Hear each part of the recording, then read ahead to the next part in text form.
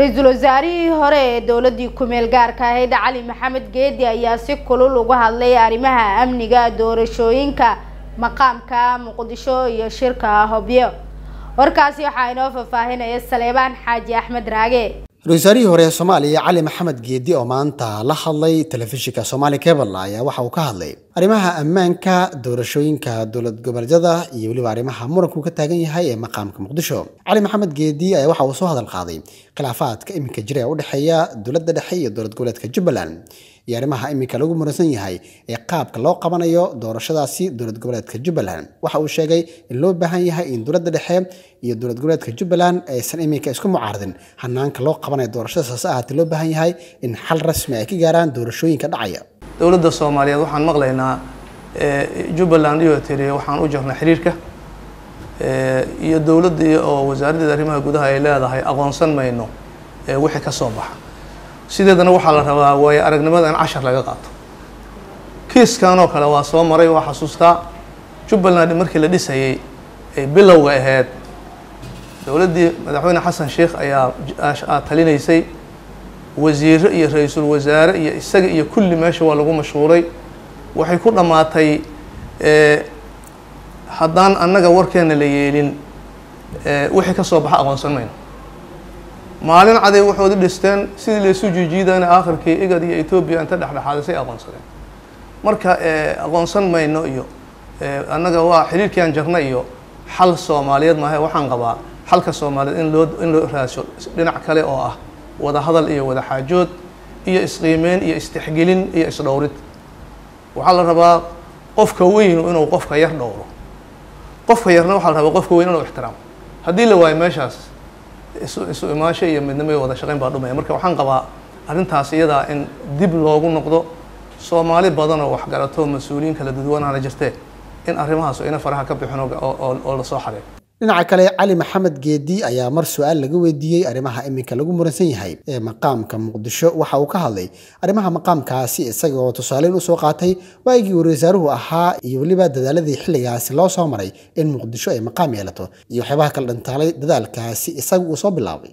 Caasimaddu waa dastuuri. Dastuuray ku timid iyo afti dadweyne kuma imaanin. Rabitaan qof iyo kooxe in caasimadii soomaaliyeed aan lala dirinin muqdisho ma dagaalamin dhul ma dagaalamin dadaa dagaalamaya. Caasimadda in la dhowro soomaalida waa aqbashay. Soomaalida markay aqbashay haddana waxaa ku xigay shirki kale ee cabdulqaasim salaad xasan madaxweynaha oo ahay sidii oo kalea loogu ballamay. Intaas maqaam ha loo sameeyaa la dhahay. Maqaamka ha la sameeyo waray noqotay buu ku qoran. Ilaa dowladdii aan anigu ra'iisul wasaaraha ka ahay la dhisay ee haddana lagu qoray axda qarameedkii inay maqaam loo baahan yahay. Maqaamkii in loo baahan yahay shaki kuma jiro maqaamkii waxaan aaminsanahay labadii kun iyo toddobadii bilowgeedii inaan u helay miisaanid in la sameeyo. In shir maalin cad intaan qabanay wasaaradda warfaafinta ka dhacay oo wasiiro badan joogeen iyo civil society dad la yidhaahdo oon ka xasuusta abukato cumar dhegey la yihi waxaan sameyneynaa charterkii charterkii in la daraafgareeyaan ogahay charterkii markii la daraafgareeyay iyadoo aan hindisaheeda wado in deegaanada gobolka banaadir laga doorto councilo oo doorasho lagu keeno guddoomiyaha gobolka banaadir duqa magaalada ayaan shaqada ka tegay shaqadii waxaa meesha ka amba qaaday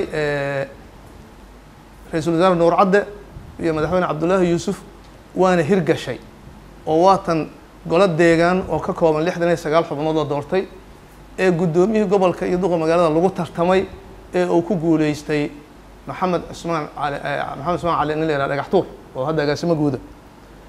Council la doortay iyo mada guddoomiye la doortaan meesha ku ogeynay. Waxaa timid dowladdii madaxweyne sheekh shariif waa kala diriyey. Gadaalaa loo noqo waxaa ka dambeysay dowladdii madaxweyne xasan sheekh oo la rabay inuu dhammaystiro ama uu sameeyo maqaamkan. Tallaab looma qaadine waa laga tegey hadda waxaan maqlayaa oo doodaha ka socda ee magaaladan iyo soomaaliya gudaheeda ka mid a inay iyagii leeyihiin maqaamka maxaa loo samey laya oo iyagu maxay u sameyn waayeen doodo siyaasadeed ayaa waxay ka taagan yihiin doorashada jubbaland ee la filayo inay dhowaan ay dhacdo. Iyo arrimaha maqaamka muqdisho. Siyaasiyiin ka soo jeeda muqdisho waxay ku doodayaan inay sameysanayaan maamul u gaara si loo helo xaqii ay lahaayeen dadka degan muqdisho. Dhinaca kalena waxaa dood ay ka taagan tahay arrimaha doorashooyinka jubbaland oo dowladda dhexe waxay sheegtay inaysan aqoonsan doonin natiijada ka soo baxda doorashada dhici doonta haddii aan la marin waddo sharci ah dhinaca kalena jubbaland waxay ku adkaysanaysaa in doorashooyinka ay qaban doonaan oo dowladda dhexe aysan wax shaqaa ku lahayn hanaanka doorashooyinka jubbaland. Salaamaan xaaji xamdiraagi soomaali cebal muqdisho